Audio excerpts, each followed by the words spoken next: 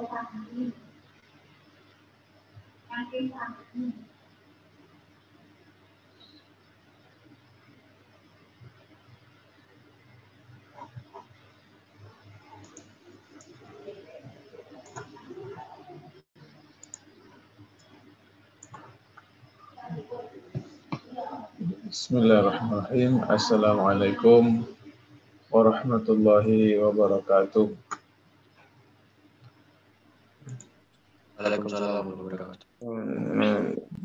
Kita lanjutkan kuliah kita. Untuk pertemuan kali ini kita membahas full placement ya. Jadi ini masih mereview metode kontrol, ini belum masuk kontrol optimal ya. Ini masih review sistem kontrol. Assalamualaikum warahmatullahi wabarakatuh. Kita pada desain sistem kontrol yang belum optimal. Ini belum kontrol optimal, tapi masih pendahuluan. Nah, dengan mempelajari ini nanti kita bisa memahami konsep penempatan pool atau disebut dengan pool placement dan bisa mendesain sistem kontrol dengan metode pool placement atau penempatan pola. Nah, eh, kalau kita mengetahui desain sistem kontrol konvensional itu umumnya didasarkan pada pemilihan lokasi pool order 2 yang dominan. Jadi di pembelajaran sistem kontrol yang kita lakukan umumnya adalah sampai order 2 karena kita menganggap order 2 yang dominan itu cukup untuk pengendalian ya, dalam sistem kontrol yang konvensional. Adapun untuk pool-pool yang order tinggi itu eh, tidak dapat ditentukan secara eksplisit ya.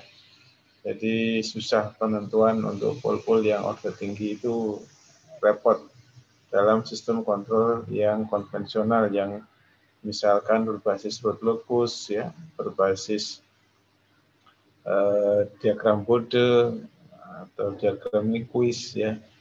Nah, kita nanti mencoba mendesain menggunakan pool placement tadi itu untuk bisa mendesain sistem kontrol yang pool-pool order tinggi.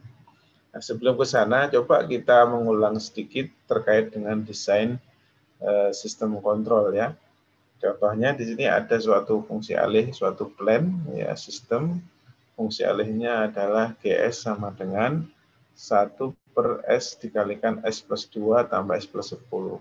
Nah, ini ada tiga pool ya, ada tiga pool, yaitu pada S sama dengan 0, pada S sama dengan minus 2, pada S sama dengan minus 10. Ada di sumber real di bidang kiri semua ya.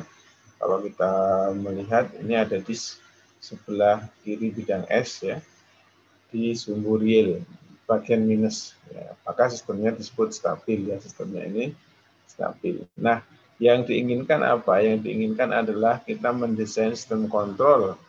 Uh, anggap aja di sini proporsional diferensiator, proporsional diferensial PIPD yang menghasilkan overshoot sekitar 5% dan waktu settlingnya sekitar satu detik. Ya, nah uh, ini ukuran kinerjanya. Nah, terus bagaimana langkah desainnya? Langkah desainnya adalah kita mengkonversi uh, overshoot 5% dan waktu settling satu detik ini ke dalam pool-pool ya, ke dalam letak pool-poolnya. Ini nanti menjadi endingnya adalah letak pool-pool yang diinginkan. Ya, letak pool-pool yang diinginkan ya. Kalau mungkin kita gambar ya, kita gambar di sini misalkan ya, ini kalau ini kita gambar bidang S ya. Nah, ini bidang S misalkan berarti pool-poolnya ada di sini ya, 0 kemudian di minus 2 dan di sini minus 10 minus 2 minus 10 nah, nanti uh, sistem pol-pol yang ada di sini ini kita akan lihat apakah memenuhi spesifikasi yang diinginkan yaitu overshootnya 5% dan settling time-nya satu detik. Ya, ini ada di mana posisi ini ya? Kita akan mengecek posisi ini eh, lima persen dan lima persen dan settling satu detik itu ada di mana pool yang diinginkan. Kalau ternyata dilewati oleh locus daripada pool-pool ini, tempat keduduk akarnya, ya sudah, kita tinggal mencarikannya. Kalau ternyata nggak dilewati, maka kita harus mendesain uh, suatu sistem tertentu agar itu bisa dilewati. Ya, kalau kita melihat seperti ini, kemungkinan pol-polnya itu ya, ini ada di locusnya ya, ini ke sana, satunya ya, yang satunya lagi dia naik ke atas gini, ini ke bawah sama ini. Nah, akan kita lihat apakah pol-pol yang di pol yang diinginkan ini apakah akan berada pada letak tempat kedudukan akar ini. Kalau sudah ada pada di sana itu mudah, tinggal kita mencari eh, berapa itu nanti menjadi controller P saja cukup. Nah, ini kita akan lihat apakah dia ada di letak yang diinginkan atau tidak. Nah, kalau kita melihat tadi desainnya 5% overshoot dan satu detik ini nanti akan menghasilkan eh, yang disebut dengan titik yang diinginkan berupa orde 2. Ya ada 2S, berarti nanti orde 2. Nah sekarang pertanyaannya bagaimana kita bisa mendapatkan eh, letak pool yang diinginkan dari spesifikasi 5% dan satu detik ini. Caranya bagaimana mencarinya? Ya, kita mengingat dulu masa S1, eh, di sistem kontrol ya kita mengetahui beberapa ukuran kinerja ya. Ada MP, maksimum overshoot ya. Kemudian di sini ada time delay, uh, delay time, sorry. Ada rise time ya. Ada kemudian peak time, ini ketika overshoot. Ada kemudian ini settling time ya, saat dia mulai sudah mulai settle ya. Eh, saat dia sudah mulai mantap, bukan stabil ya. Mantap ini semua stabil. Tapi dia saat sudah mulai mantap, sudah mulai settle, ya itu disebut dengan settling time. Ya kalau sini overshoot ada nggak overshootnya? Nah ini dari gambar hasil uh, output sistem ketika diberi input unit step. Nah sekarang kita kan harus mencari pol-pol yang diinginkan. Nah berarti kita ingat rumus-rumus ya. Kita lihat rumus maksimum overshoot ya. Rumus maksimum overshoot itu kalau yang hanya MP tidak ada persennya, ini nanti kalau persennya dikalikan, tinggal dikalikan 100%. Berarti E pangkat minus C dibagi dengan satu akar 1 minus C kuadrat dikalikan B. Nah, dengan memasukkan MP-nya tadi 5%, ya 5%, berarti 5 per 100, 0,05, kita nanti dapat menghitung C dari sini. Ya, dengan tadi memasukkan angka 5 tadi, 5%, ya 5 per 100, kita akan bisa menghitung uh, nilai P, uh, nilai C ya, C-nya berapa. Ya karena yang lain kan P ketemu 3,14 ya. E-nya juga nanti ini tinggal di len saja akan menjadi sudah bisa len 0,05 sama dengan len ini sudah tinggal atasnya saja yang keluar. Jadi eh, nah, kalau ingin menghitung silakan nanti dihitung ya. Saya nggak perlu menghitung karena ini kan mengulang saja ya cukup nanti dengan apa lima persen tadi kan tadi maksimum overshootnya kan lima persen ya kita tulis lima per seratus di sini kita akan mendapatkan C. Kemudian eh, yang perlu kita dapatkan untuk mendapatkan pool yang diinginkan tidak hanya cukup C ya karena tadi desainnya kan berdasarkan sistem order 2 ya order 2 itu ada C dan ada omega n ya C faktor redaman C itu faktor redaman omega N itu adalah frekuensi alamiah tidak teredam. Dapat dari mana omega N-nya? Dari settling time-nya tadi ya. Dari settling time eh, ada berapa persen eh, kriteria, kalau kriteria 2 persen atau 0,02 atau kriteria 5 persen ya. Misalkan aja kriteria 2 persen, berarti rumusnya adalah 4 dibagi si omega N. Ya, eh, kan dari sini tadi kita dapat C ya. Nah, sekarang TS-nya tadi satu detik. Kita C dapat dari sini, kita omega N kan dapat, ya kan? Berarti dengan menghitung ini dua bersama, ini kita akan mendapatkan eh, C dan omega N. Nah, terus bagaimana letak pol-polnya, Pak? Nah, ini letak pol-polnya ya, perlu diingat bahwa eh, letak polnya itu kan misalkan ada di sini ya, berarti panjangnya ini adalah omega N, ya. Uh, kemudian uh, C-nya itu adalah cos cos beta ini. Artinya dengan kita mendapatkan C dan omega N, Berarti kita harus mencari omega D dan mencari si omega N. Jadi kita mencari tolnya ini, ini sisi sumbu realnya ini, sumbu real rumusnya adalah si kalikan omega N. Ya tinggal dikalikan aja si kali omega N kan si dapat omega N dapat ketemu panjangnya di sini. Kemudian kita tinggal mencari panjangnya yang dari sisi sumbu imajiner ya, yaitu omega D. Omega D itu omega frekuensi alamiah teredam itu rumusnya adalah omega N dikalikan akar si minus uh, akar satu minus si kuadrat ya. Omega yang ketemu, satu, uh, si-nya ketemu sudah kita akan mengetahui letak pol yang diinginkan. Nah, kalau dihitung letak pol yang diinginkan itu adalah minus 4 ditambah plus minus J 4,08. Maksudnya apa Pak plus minus? Ya, uh, dia posisinya itu plus minus ya, karena dia adalah uh, imajiner ya. Dia uh, namanya kembarannya ya di sini sama di sini ya ini. Jadi letak pol yang diinginkan di sini sama di sini. Tadi kita jelaskan kan eh, bahwasanya ternyata pol letak yang diinginkan ini di sini sama di sini ya itu tidak dilewati oleh eh, akar tempat kedudukan akar. Karena nggak dilewati maka kita harus menggunakan metode eh, root locus ya metode locus untuk bisa mendesain PD ya parameter P dan D-nya nanti silakan melihat kembali ya di di apa di mata kuliah sistem kontrol berdasarkan locus eh, untuk bagaimana itu penerapan metode locus untuk mendesain ya. Kita tidak eh, mengulang terlalu jauh sampai ke sana ya. Intinya dengan menggunakan metode locus nanti kita akan bisa mencari eh, apa parameter P dan D menggunakan metode ini root locus ya. Ingat yang kemarin ada lag, ada lead kompensator, lag kompensator ya. Nah, itu kemudian ada juga lead lead kompensator ya. Itu itu ada padanannya dengan dengan PD ya, PD, BI dan PID.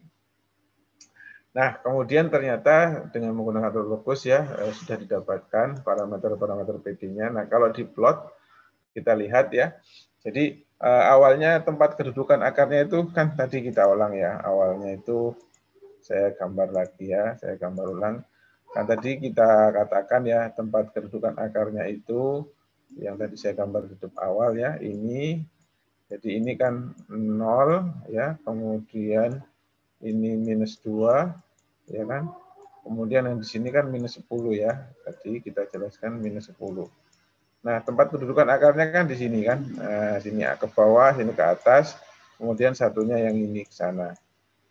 Nah, karena ternyata eh, tadi pol-pol yang diinginkan itu nggak dilewati, kan ada di sini ya ternyata ya. Ada di minus 2, minus 4 ya, ada di sini sama di sini ya. Maka dengan menggunakan eh, metode locus, dia akan dipaksa ini, root locusnya itu untuk melewati sini. Sehingga yang awalnya tadinya lurus, ya, eh, sorry, melentot-melentot ini. Eh, yang awalnya ini lurus ya, nah, lurus, ini ke atas ya awalnya lurus, kemudian ke bawah lurus ini ya, sorry ini mestinya lurus ya. Nah ternyata langsung bisa belok ya, belok melewati ini pol yang diinginkan ya.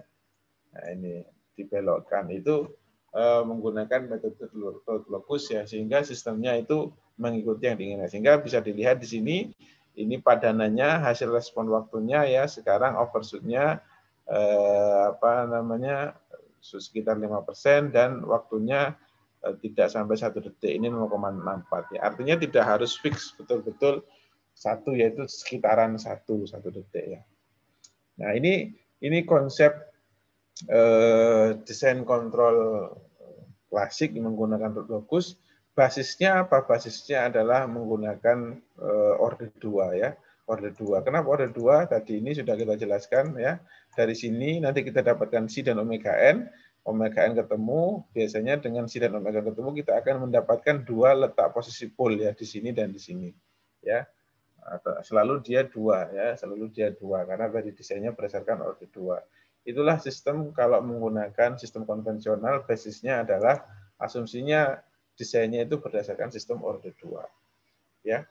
Nah, sekarang bagaimana kalau pol yang diinginkan itu tadi kan hanya dua, kalau misalkan tiga, empat, lima pol yang diinginkan ya bisa lebih dari tidak hanya order dua, bisa jadi yang diinginkan ada tiga, ada empat, ada lima, ada enam ya posisi pol-pol yang diinginkan. Nah, itu bagaimana solusinya? Nah, kalau menggunakan sistem kontrol konvensional itu tidak bisa lagi dilakukan karena itu perlu menggunakan metode kontrol yang lebih modern ya. Nah, di sini nanti kita akan menggunakan tidak fungsi alih ya, eh, tapi kita akan menggunakan yang dimaksud yang kita sudah pelajari minggu lalu yaitu model ruang keadaan. Model apa? Ruang keadaan atau state space. Ya, dengan state space tadi kita nanti akan mendesain eh, apa pole placement letak daripada pole-pole yang kita inginkan tadi itu bisa lebih dari dua, bisa tiga, bisa empat, bisa lima, bisa sepuluh pun tidak masalah ya ya 10 pool yang diinginkan letaknya kita bisa ya dengan menggunakan pool placement tadi kalau metode konvensional kita ini hanya dua saja hanya dua saja dari spesifikasi performansi tadi daripada 5% dari satu detik tadi itu nanti diterjemahkan ke dalam dua saja dua pool saja itu metode desain konvensional nah sekarang dengan menggunakan nanti menggunakan model ruang keadaan atau model state space eh, yang kita pelajari eh, sebelumnya ya model state space maka kita bisa mendesain eh, pool-poolnya tadi itu bisa lebih dari dua, bisa lebih banyak lagi. Ya, itulah disebut dengan sistem desain menggunakan pool placement. Ya. Nah, uh, jadi kalau kita lihat dari gambar sebelumnya, posisi dari pool-pool order tinggi itu memiliki pengaruh yang signifikan pada parabol sistem ya. Jadi kalau dilihat dari gambar sebelumnya di sini, ini banyak pool-pool yang lain ya. Sebenarnya ini kan hanya satu di sini aja. Kalau pol-pol yang lain dilibatkan, sistemnya uh, akan mempengaruhi uh, perilaku daripada sistem. Tapi saya yang tadi ya kemampuan desain konvensional kontrol desain kontrol konvensional tadi tidak mengatasi untuk pol-pol yang desain untuk pol yang order tinggi ya. Jadi karena itu kita perlu uh, mencari solusi. Solusinya bagaimana agar bisa mendesain sistem untuk order tinggi? Maka kita nanti menggunakan metode ruang keadaan keadaan dengan metode pool placement atau bahasa Indonesia penempatan pool ya penempatan pool. Nah, mari kita masuk ke metode pool placement itu ya. Jika diasumsikan sebuah variabel semua variabel state dapat diukur eh, dapat diukur dan tersedia untuk umpan balik. Jadi kita sudah masuk ke variabel state ya. Ingat eh, model ruang keadaan itu ada persamaan keadaan atau persamaan state, ada persamaan output ya. Kemudian di sana di variabel di, di model itu ada namanya variabel keadaan yang x gitu ya. Variabel keadaan yang x. Nah, variabel keadaan yang x itu harus eh, variabel state-nya, state-nya harus bisa diukur. Ya, harus bisa diukur dan harus bisa juga dikontrol. Karena itu harus controllable ya, state-nya harus controllable. Karena itu kita sebelumnya menghitung eh, yaitu controllable controllability daripada state-nya. Kalau nggak controllable ya jangan dilanjutkan. Nggak mungkin bisa dikontrol ya sudah. Nggak usah menggunakan pool placement ataupun metode yang lain untuk untuk mendesain sistem tersebut. Jadi syaratnya adalah state-state-nya dari sistem itu adalah bisa dikontrol. ya controllable. Nanti pool-pool tutupnya dapat ditempatkan pada lokasi yang diinginkan dengan kontrol state feedback melalui materi penguatan state feedback. Nah, seperti apa ini nanti kita akan jelaskan. Oke ya, jadi kita jika kita memiliki pool-pool tertutup, eh, bisa jadi poolnya S-nya sama dengan A1, A2 sampai sebanyak AN ya. Dengan memilih materi penguatan untuk feedback stick, kita dapat memeriksa sistem untuk memiliki pool-pool yang kita inginkan dengan syarat sistemnya state controllable sempurna. Jadi syarat ini, syarat awal ini ya, state-nya harus variable state-nya harus controllable. Ya, jadi karena itu kita harus hitung dulu ke controllability daripada uh, matrik ya matrik A-nya itu ya kalau ternyata nggak controllable ya jangan jangan dilanjutkan ya jangan dilanjutkan. Oke kita lihat desainnya ya. Kalau kita melihat diagram blok daripada model state space ini diagram blok dari model state space ya. Ini ada U sistemnya ada Y ya. Ini ada matrik B ini ada matrik A ya. Ini persamaan state-nya. Kemudian kalau di sini nanti menjadi persamaan output. Nah, menggunakan uh, metode pool placement, kita akan menambahkan satu kontrol namanya kontrol K. Ya, tambahkan kontrol K, kita tambahkan namanya state feedback. Jadi state-nya diumpan balikkan, masukkan ke sini ya. Ini R adalah referensi. Ya, R R adalah uh, referensi. Adapun uh, sistem kontrolnya nanti adalah U sama dengan min KX. Nah, nanti R-nya ini bervariasi ya. Ada R-nya yang sama dengan 0, ya ada R-nya yang ada angkanya. Jadi kadang-kadang eh, referensinya itu tidak harus selalu angka tertentu, tapi kadang-kadang R-nya eh, referensinya juga bisa nol. Jadi kita akan lihat beberapa keadaan. Nah, ini kasus misalkan inputnya itu RT-nya sama dengan 0 ya. Kalau RT-nya sama dengan 0, maka tadi itu R-nya langsung tidak dianggap tidak ada, langsung dia ini masuk minus K langsung berhubung dengan dengan U ya. Jadi U di sini adalah uh, minus K dikalikan X ya. Jadi U adalah minus K dikalikan X. Nah, ini ini uh, persamaan state, apa model state space-nya ya. Yang ini adalah persamaan state, yang bawah ini adalah persamaan output ya. Uh, ini minggu lalu kita sudah belajar model ini. Nah, sekarang kita bagaimana men mencari K ini untuk bisa mengontrol sistemnya agar dia bekerja sesuai dengan yang kita inginkan. Ya, nah pertanyaannya bagaimana cara mencari matrika? Jadi metode full placement tadi itu poinnya di sini adalah bagaimana cara mencari matrika di sini yang disebut dengan eh, state feedback ya. Oke, prosedurnya. Baik, prosedurnya pertama kita harus memeriksa sistemnya. Apakah sistemnya controllable atau tidak? Ya, kalau tidak controllable ya sudah jangan lanjut ya. Kemudian setelah kita mengetahui sistemnya controllable, maka kita mencari polinomial persamaan karakteristik dari matrik A. Jadi matrik A eh, polinomialnya atau agent value-nya itu adalah persamaan persamaan karakteristik. Persamaan karakteristik itu apa? Persamaan karakteristik itu adalah pool-pool dari sistem.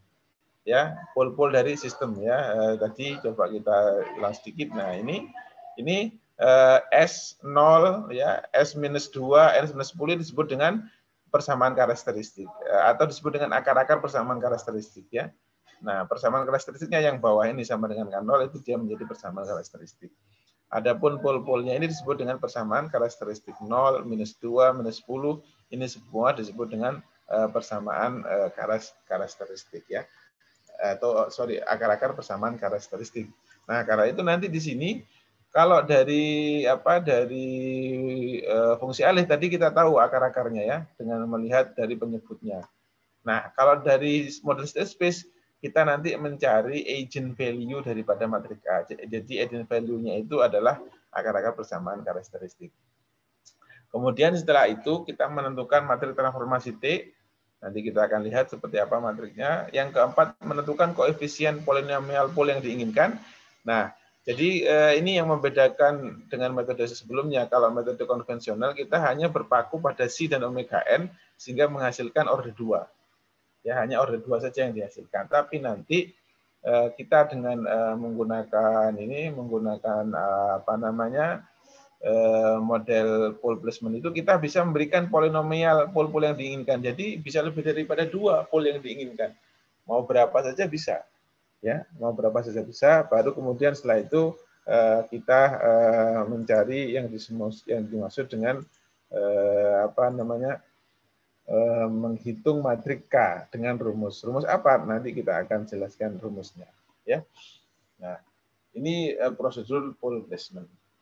Oke, coba kita akan masuk satu persatu. Ya, maka yang pertama adalah memeriksa controllability daripada state ya. Apakah state-nya bisa dikontrol apa tidak? Nah, kalau nggak bisa dikontrol ya ya sudah ya. Kalau nggak bisa dikontrol berarti eh, mau tidak mau ya jangan lanjut ya. Ngapain kita susah-susah nggak bisa dikontrol kita kemudian maksakan diri untuk bisa dikontrol ya jangan. Ya, ingat rumus materi controllability ya, uh, masih ingat ya. Rumusnya kalau kita ingat ini kita harus mencari dulu matrik A dan B ya dari model. Kemudian kita buat kolom pertama A, B, kolom kedua A, B, kolom ketiga dan seterusnya sampai kolom terakhirnya A, A pangkat N-1 dikalikan dengan B. ya. A dan B itu apa? A dan B tadi matrik dari eh, A itu matrik Eh, state dan B itu adalah matrik input ya dari persamaan persamaan state. Nah, eh, ingat materi sebelumnya apa syarat dikatakan controllable kalau ini matrik baru ini memiliki rank n atau mengandung n vektor kolom yang terbebas satu sama lain secara linier ya. Kita sudah uh, menjelaskan ya materi sebelumnya nanti silakan lihat kemudian uh, langkah yang berikutnya adalah mencari persamaan karakteristik ya eh, mencari persamaan karakteristik daripada sistemnya ya. Nah, tadi itu bagaimana mencari persamaan karakteristik daripada eh, sebuah model state space. Nah, caranya adalah mencari nilai agentnya. Gimana cara mendapatkan nilai agentnya ini? Ya, S dikalikan matrik identitas dikurangi A. Jadi ambil matrik A, nanti kita uh, akan mencari determinan daripada SI min A. Ini adalah matrik identitas. Setelah ini kita cari determinannya, kita akan mendapatkan persamaan ini, persamaan karakteristik.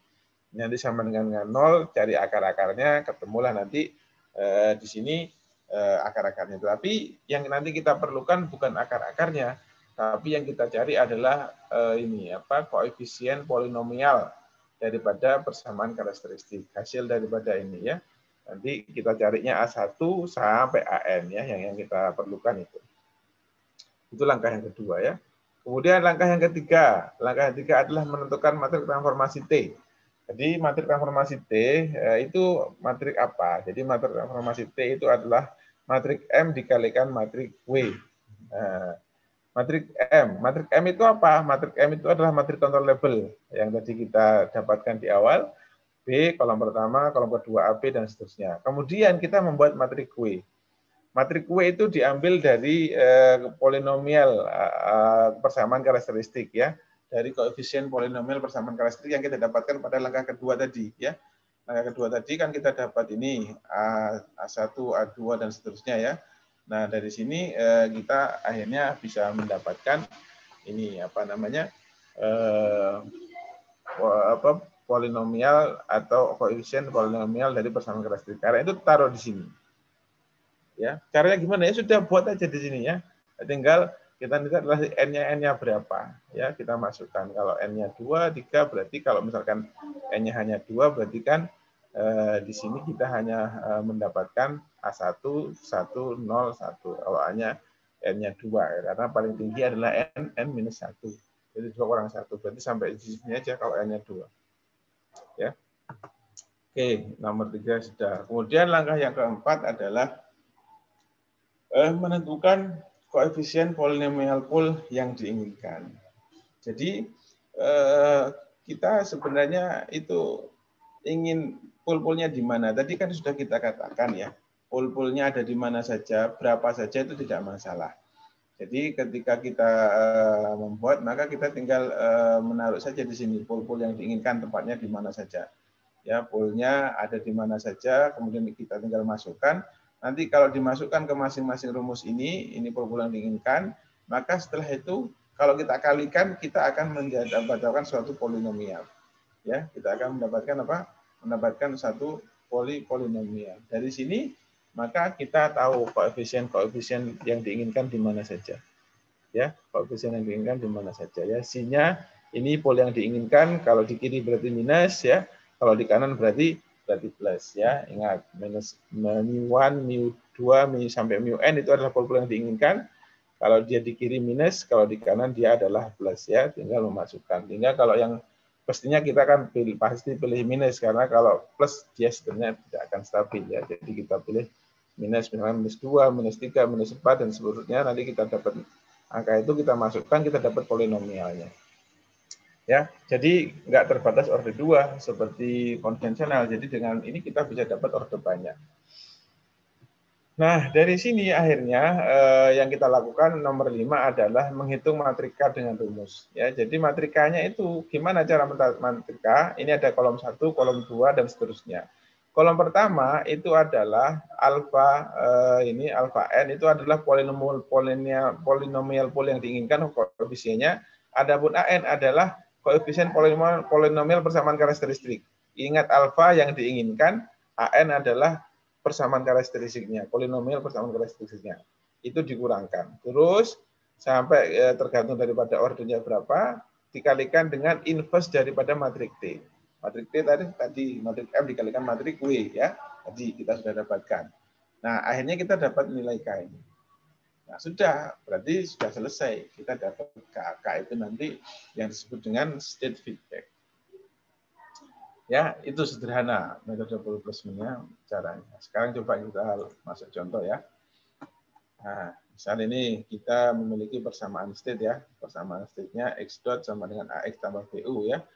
Nah, kemudian dari sini kita dapat persamaan state ini, maka yang harus kita lakukan apa sekarang? Yang harus kita lakukan adalah eh, mencari A. Ini sudah diketahui rumusnya ya. A-nya sekian, B-nya sekian. Maka tentukan sistem kontrol feedback state U sama dengan minus KX, artinya kita harus mencari K. Jika diinginkan pol-pol tutup-tutupnya adalah ini. Jadi polnya minus 2 tambah J4, minus 2 minus J4, dan minus 10. Ini pol-pol yang diinginkan ada tiga. Ya, kalau tadi menggunakan eh, metode konvensional kita bisa keluar dua. Kalau dengan metode ini kita bisa keluar bisa banyak bisa banyak uh, pool terserah yang diinginkan berapa. Oke, baik. Ini yang diinginkan. Ini matrik A-nya, ini matrik B-nya. Berarti kita coba langkah pertama, memeriksa apakah sistemnya controllable atau tidak. Ya, nah, maka uh, kita lihat di sini M-nya adalah B, AB, A kuadrat B ya, karena di order 3 ketemulah di sini ya. Nah, dari sini kita cari determinannya ya, kita cari determinannya ternyata minus satu tidak nol ya. Kalau nol itu sudah pasti dia nanti akan eh, singular ya, artinya dia sudah nggak controllable. Kemudian kita pastikan bahwasanya dia tidak nol, itu yaitu di sini determinannya adalah minus satu. Kemudian kita lihat apakah kolom satu dengan kolom dua saling berhubungan tidak ya. Kolom satu dengan ini tidak ada hubungannya, tidak dua kalinya, tidak setengahnya. Kolom satu, eh, ya kolom dua tidak setengahnya kolom satu ya tidak seperkalinya atau berapanya tidak ada hubungannya ya. Maka kita anggap ringnya adalah full yaitu ringnya tiga sesuai dengan pangkat tertinggi daripada ini ya ringnya tiga. Karena itu dia controllable Kemudian langkah yang kedua menentukan polinomial koefisien polinomial persamaan karakteristik ya. Dari sini kita akan dapatkan A tadi ya. S I minus A determinannya ya menggunakan rumus determinan kita akan mendapatkan S pangkat 3 tambah sekian tambah sekian sama dengan satu. Nah, akhirnya kalau kita lihat di sini kita samakan dengan uh, rumus polinomialnya S pangkat 3 AS, AS1S S kuadrat A2S tambah A3 sama dengan 0 maka kita dapatkan kita padankan oh A1-nya 6 A2-nya 5 A3-nya 1 ya. Ini kita kita simpan ya. Jadi yang ini kita Eh, kita simpan. Oke, kita sudah mendapatkan data ini ya. Dan kita bisa lanjutkan. Oke, langkah yang ketiga menentukan koefisien polinomial polar tutup yang diinginkan ya. Eh, yang diinginkan di mana? Tadi kan ada tiga ya, tiga ini yang diinginkan kita tinggal masukkan ya. Tadi minus 2 tambah J4, minus 2 minus J4, minus 10 ya kita masukkan maka kita kalikan semua kita dapatkan ini. Nah, ternyata dari sini kita dapatkan A1-nya 14, A2-nya 60, A3-nya 200 ya. Menentukan matrik transformasi T. Ya, kita cari matrik transformasi T ya, kita hitung eh, matrik transformasi T ini adalah M ya tadi, ini adalah W ya, ini adalah W. W-nya tadi ingat ya, M dikalikan W, M dikalikan W ketemu T-nya adalah matrik identitas ya. Berarti matrik identitas itu sama dengan satu kalau di non matrik ya. Jadi T-nya sama dengan matrik identitas. Di inverse ya tetap aja. Nah, dari sini akhirnya kita dapatkan, kita menghitung K ya. Kita dapatkan eh, K-nya A3 alfa 3 yang diinginkan, polinomial koefisien pol yang diinginkan dikurangi dengan persamaan karakteristik. Masing-masingnya kolom-kolomnya dicari 20 minus 1, 6 minus 5, 14 minus 6, ketemulah K-nya 199, 55, dan 8. Jadi K-nya adalah vektor eh, 1 kali 3. Ya, nah sudah selesai ini. Ini nilai K-nya. Ya, itu ada metode yang pertama. Semoga jelas ya. Nah ini kita rekam nanti bisa dilihat ulang ya di YouTube karena nanti kita uh, kasih tugas ke jenengan semua ya untuk mengerjakan beberapa soal. Itu metode yang pertama ya uh, caranya ada lima tahap ya ada lima tahap yang perlu saya lakukan menentukan apakah sistemnya controllable atau tidak, state controllable atau tidak. Yang kedua mencari polinomial dari persamaan karakteristiknya. Yang ketiga mencari Eh, matrik T atau boleh mencari dulu uh, polinomial dari pol yang diinginkan, baru kemudian mencari matrik T yaitu M kalikan W, M adalah matrik dari label, W adalah matrik khusus yang tadi ada caranya diambil dari koefisien dari pol persamaan karakteristik dan yang terakhir adalah mencari matrikanya ya. Itu metode yang pertama. Ada metode yang lain yang disebut dengan metode Ackermann ya. Metode Ackermann. Jadi nilai K-nya itu bisa bisa bisa dicari dengan metode yang lain yang disebut dengan metode Ackermann ya dengan menggunakan apa? metode metode Ackermann. Jadi eh, jika diketahui persamaan state-nya x dot sama dengan x plus bu dan dicari sistem kontrolnya yaitu u sama dengan minus kx, maka K-nya ini bisa dicari dengan apa? K-nya ini bisa dicari langsung dengan rumus ini. Ya, 0001 ya tergantung daripada apa ini matrik eh, apa banyaknya matrik daripada kolom yang ada di matrik control level. Ini matrik control level B kalikan eh, ini kolom pertama B, A, B dan seterusnya diinveskan, ini dikalikan, ini dikalikan investnya daripada materi control level dikalikan dengan uh, ini materi transisi si A. Ya. Nah, pi atau sini bacanya. Ini rumusnya apa? Rumusnya adalah A ini adalah matrik state uh, A pangkat N ditambah dengan alfa 1. Nah, alfa 1 itu apa? Alfa 1 adalah komponen pool yang diinginkan. Ya, alfa 1 adalah komponen pool yang yang diinginkan. A pangkat minus 1, kemudian sampai alfa N minus 1 kalikan A sampai alfa N. Ya, jadi eh, ini lebih straightforward istilahnya, lebih direct, lebih langsung ya, tahapannya tidak tidak sebanyak tadi. Ya, eh, kita sudah tahu mencari materi control level, kemudian ini tetap mencari polinomial pool-pool yang diinginkan, kemudian tinggal mencari matrik ini dikalikan dengan matrik control level dikalikan dengan ini sudah ketemukannya.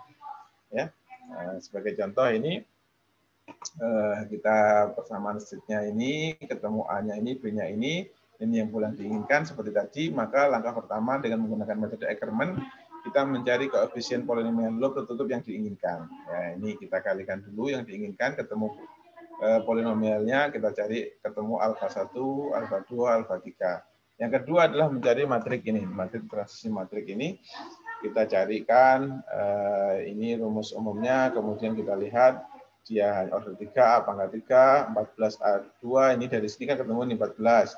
Dari sini ketemu 60, dari sini ketemu 200 ya.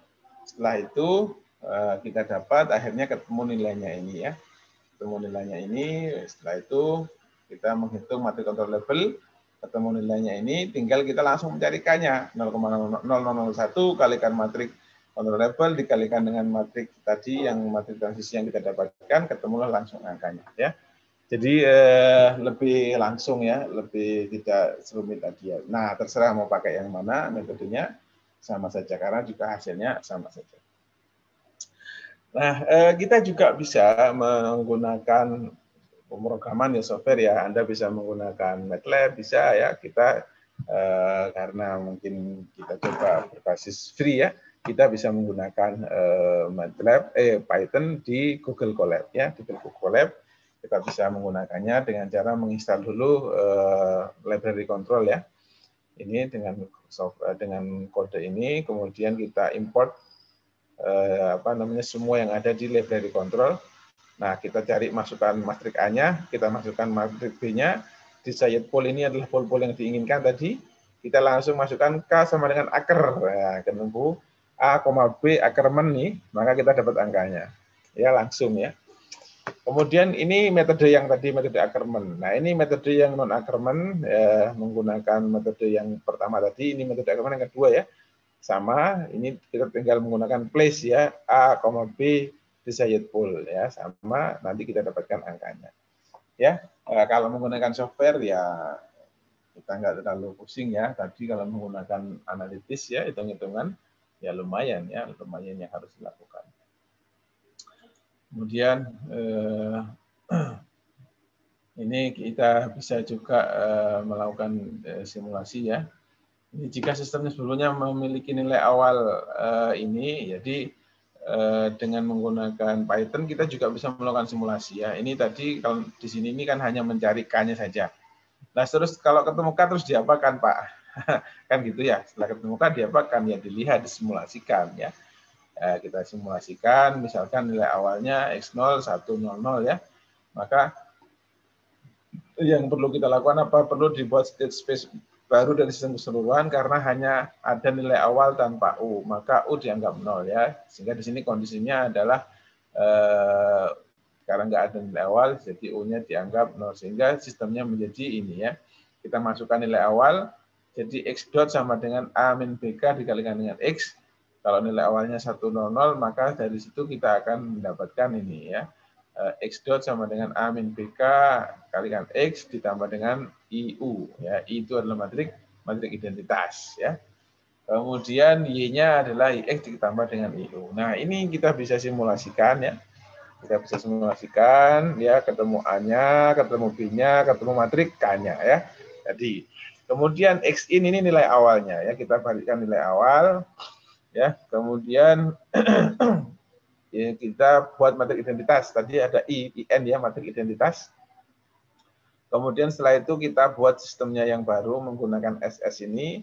A minus B transpose ya ini ya dari ini ya ini. Ya kita membuat ini.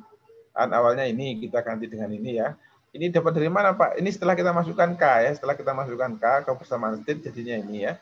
Kemudian eh, kita masukkan ini rumus yang baru ini ini ketemu ini. Kemudian kita eh, lakukan initial respon ya.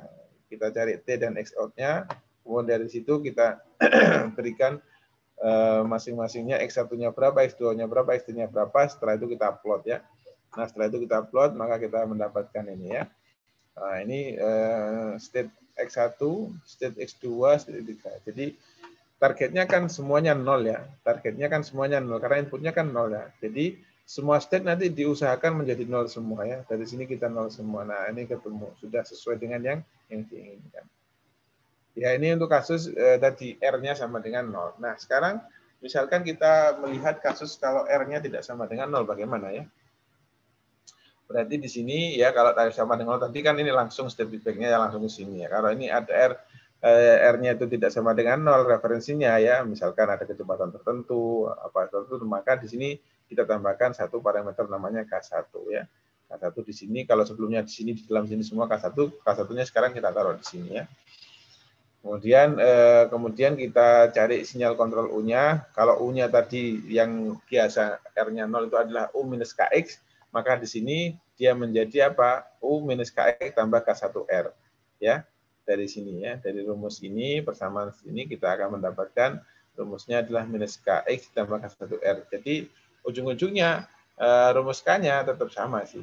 Inting-intingnya uh, rumus K-nya kalau kita lihat, jadi rumus K-nya itu akhirnya uh, sama sebenarnya.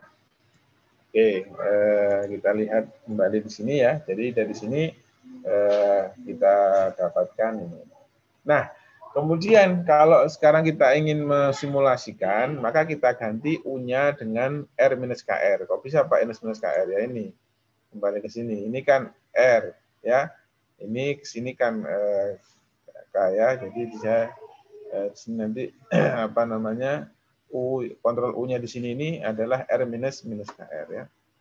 Ini R1 R eh, apa namanya K1 di sini ya. Kemudian di sini K yang hasil daripada eh, apa nanti yang kita dapatkan menggunakan state feedback tadi rumus state feedback. Ya kita kembali. Jadi kita mendapatkan state persamaan yang baru ya dari gambar tadi. Awalnya kan x dot sama dengan ax plus bu ya. Maka kita kemudian ganti u-nya. U-nya kita ganti dengan ini r minus kr akhirnya kita dapatkan a minus bkx ditambah bk1r ya setelah kita memasukkan nilai ini. K-nya berapa? K-nya ini. Ya. Nah, kita dapatkan persamaan sedang baru. Oke eh, ini sudah masuk tugas ya, sudah masuk tugas. Jadi kalau kita lihat ini tugasnya apa ya? Fungsi alih sistemnya ini diinginkan pol-polnya ini sistem tersebut diberi step. Salah satu bagaimana bagaimanakah desain sistem kontrolnya. Ya. Jadi ini tugas desain perfilman dengan menggunakan Python. Yang kedua, fungsi alih di atas dapat diubah ke bentuk canonical control label sehingga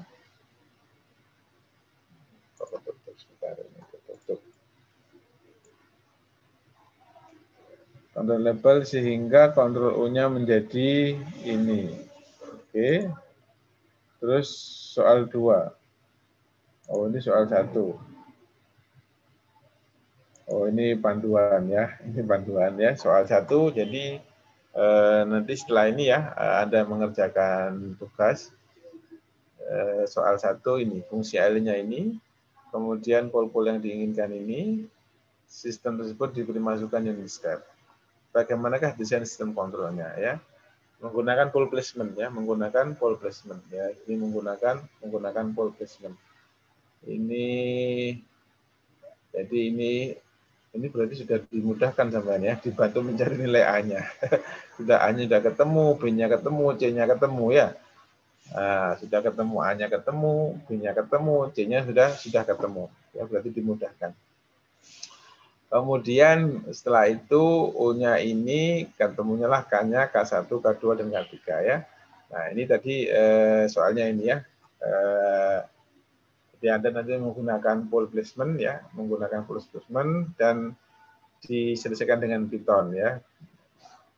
Berarti enak ya, nggak usah ngitung ya. Nggak usah ngitung.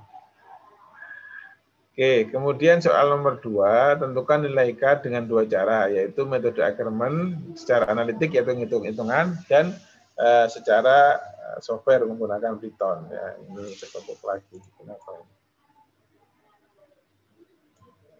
Oke, ya. Nanti akan didapatkan K-nya sekian. Respon stepnya diperoleh dengan memasukkan nilai K ini ke dalam persamaan state space asal. Ya, nilai K-nya nanti dimasukkan ke sini Kemudian setelah itu ketemu persamaan state space barunya ini ya. Setelah itu state space barunya menjadi ini. Ya. Oke. Soal nomor tiga, plot response system baru menggunakan Python. Oke. Plot response step sistem baru menggunakan Python. Jadi eh, ini sepertinya memang tugas eh, untuk yang banyak yang ini ya sesuai dengan R-nya, R-nya ini tidak sama dengan nol ya. Tapi mungkin untuk tahap awal dulu biar mudah, coba ini aja dulu dihitung ya. Menggunakan metode biasa aja dulu. Kalau punya fungsi alih ini, kemudian pol-pol yang diinginkan ini menggunakan metode pole placement tadi, hitung-hitungan manual ya. Eh, kira-kira hasilnya seperti apa? K-nya ketemu berapa ya. Ini habis ini silakan Anda cari ya. Ini sudah kita pandu ya, kita berikan A-nya apa, B-nya apa, tinggal nanti mencari K-nya ketemu ya.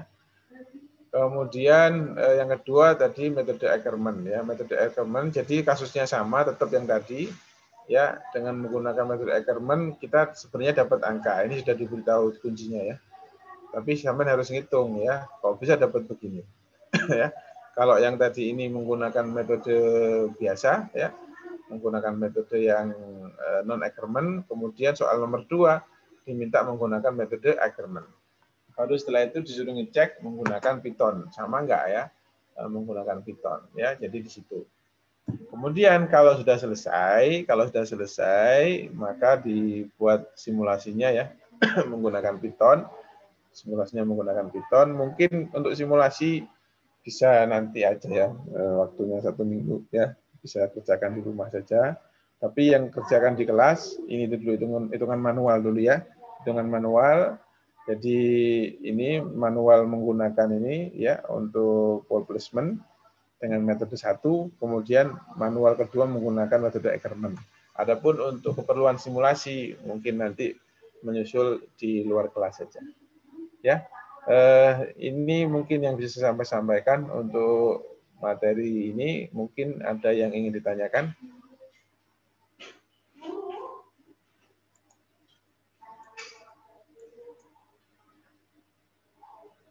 Kalau tidak ada ditanyakan langsung dikerjakan, ya. Kalau tidak ada ditanyakan, eh, silakan untuk langsung mengerjakan.